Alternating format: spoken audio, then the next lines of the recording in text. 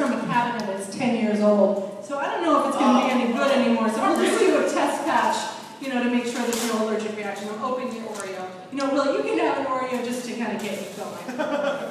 I'm really excited about this part. Okay. All right, so I'm eating a 10-year-old Oreo cookie, and No, the, the, the cookies are new. They're from Duane Reade. okay, this is delicious. All right, so um, here we go. Can I ask you a question about feminism? Okay. And if I get it wrong, you're going to nair my hair on my legs. Yeah, Thank God I'm wearing shorts. Yep. All right. So, hmm. what book did Louisa May Alcott write?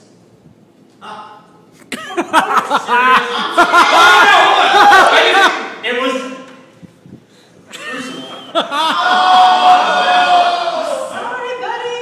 It is Little Women. Who can Which is the same thing. No, it's not. It's Well, the point is that feminists everywhere, and they had a big impact in our world, we need to know about them. Oh, the Nair, by the way, Nair, for everybody who don't know, is, a, it's a lotion hair remover. Um, it is, let me just read, uh, it's a lotion with baby oil, leaves like totally touchable. Uh, shake well, pour lotion upon the pan, and smooth on thickly. Don't exceed 10 minutes. Uh, warning, a couple warnings, but it, it looks a little gross to me, but I think it'll be all right. All right, so so we're gonna. Oh boy, oh boy. Let's do it right there. Oh, yeah. Okay. All next question. Hey, you asked. Yeah. All right. Who was Susan B. Anthony? She um, Lauren. She uh, wrote that American flag. Oh. That's Betsy Ross. That's what I meant. And Susan B. Anthony was her roommate at the time. and, and they together, she formed that women's movement. That was like suffrage. Yeah. Oh. Suffrage was Susan B. Anthony. Wow. Susan Suffrage B. Let me ask you something. Yeah. I'll give you the cookie if you promise that you're going to remember that Susan B. Anthony was the, the leader of the suffrage movement. She was the leader of the suffrage movement. All right, you can have a and cookie. roommates with Betsy Ross. No, Betsy Ross is Woo! Like that. Okay, you a cookie. All right, great. Get off that one easy. All right. Um, here's a question. Amelia Jenks Bloomer was a temperance reformer, newspaper editor, and suffrage journalist. She's noted for her pioneering temperance and women's rights newspaper, The Lily, and for wearing a healthful reform dress featuring full pantaloons and a short skirt. What item of clothing gets its name from Amelia? What was her last name? Her last name is Bloomer. Underwear bloomers. Yes, you. Yeah! Woo! Yay, feminism! All right. Now we're getting to the second round. In what city was the world's first women's rights convention held in 1848? Ladysville. Oh, I'm sorry, it's Seneca Falls. And there. there's more beer going on my leg. All right. Uh, let's see. What is a Lucy Stoner? Now, I went to college at a state school, so I know exactly what a Lucy Stoner is. That is when, all of a sudden, mid-class, a really big guy comes in late, and he's like, what class is this? Uh, that's incorrect. No. Lucy Stone was the first woman on record to keep her own name after marriage, setting a trend among women who are consequently known as Lucy Stoners. Sounds like a mare. Are, are, are a Lucy Stoner? Yeah, I am a Lucy Stoner. I kept my own name because it's mine.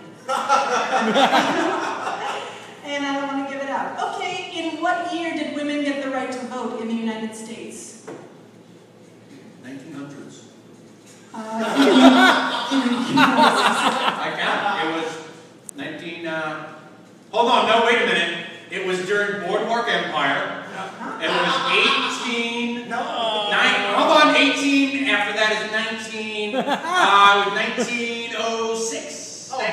1916, 1912. it is 1919, and that is our, our mayor. 1919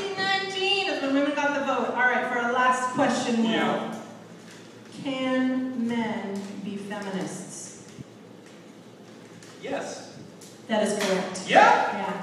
That's Am right. I a feminist? I don't know, but I'd like you to be. Well, hold on. To be a feminist, you need to know facts about feminism? You absolutely do not. So why do I have Nair all over my legs? I going to turn it into a game, Will, so that's I wanna... for you. Okay, let's take that Nair off. Let's just try not. Let's wrap it up by taking that Nair off the leg. got a washcloth here, and we've got a pitcher of water. Wait, so Lauren, like, in what way can I, like, every day can I be a feminist? Like, what do I have to do every day to live the life of a feminist? Because I love the ladies. Yeah, you love the ladies. Mhm. Well, I think that, um, Will, you just need to think about sort of equal rights for everybody. And, you know, we still need, rights. we still need feminism. Women today work, work, uh, they make seventy-nine cents on the dollar in comparison to men. Many women don't get maternity leave. Women have to make a lot of different kinds of sacrifices. But you know what? Women can also advocate for men's rights because everybody is under the same kind of gender, troubled gender structure. Is there, a, is there like, what's the male equivalent of feminism? Like man-meninism? It's called uh, mandrology. It's called. wait, hold on. Misandry. No, that's women who don't like men. It's called like a drum circle. I don't know. I don't know. It's called every day. It's called every day. Yeah. Let's let's wrap this puppy up. We can talk about feminism and the top up. Let's just find out how your how your leg did. Oh yeah. Oh. oh. Oh. Oh my gosh. Hey, we learned something. Nair that's 10 years old doesn't work. All right!